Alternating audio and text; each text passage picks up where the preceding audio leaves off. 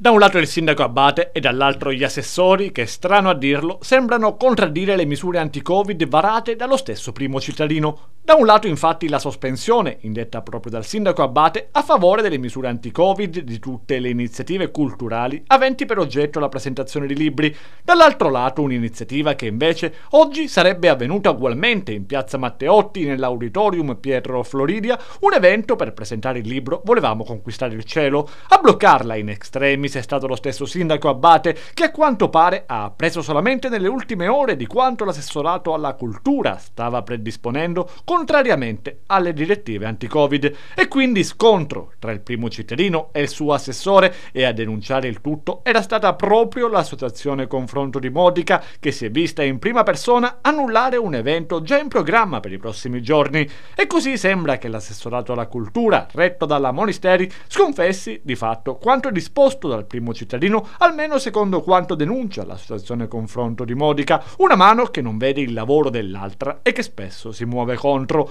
ma quello che l'associazione Confronto proprio non aveva digerito è che a seguito della decisione del sindaco ha annullato l'iniziativa promossa insieme a Caffè Letterario Salvatore Quasimodo per la presentazione del libro del giornalista e scrittore Michele Giardina, Italia devastata da un forte evento di Scirocco, già in calendario per sabato 31 ottobre nei locali del Giardino della Contea due pesi e due misure che l'associazione Confronto non può accettare. Si tratta, secondo i rappresentanti, di un comportamento da parte della Monisteri contraddittorio e lesivo, comportamento però notato dal sindaco che ha annullato anche l'evento in programma per oggi. Il problema, sempre secondo Confronto, va ben oltre la presentazione di un libro perché si finisce per minare la credibilità dei provvedimenti adottati in un periodo di grande confusione e non indifferente preoccupazione per il continuo diffondersi del coronavirus. L'associazione Confronto confidava nel pronto intervento della prefettura, ma a pensarci prima, come detto, è stato proprio il sindaco Abate che, contrariamente a quanto disposto dalla Monisteri, ha revocato la presentazione del libro prevista per pomeriggio.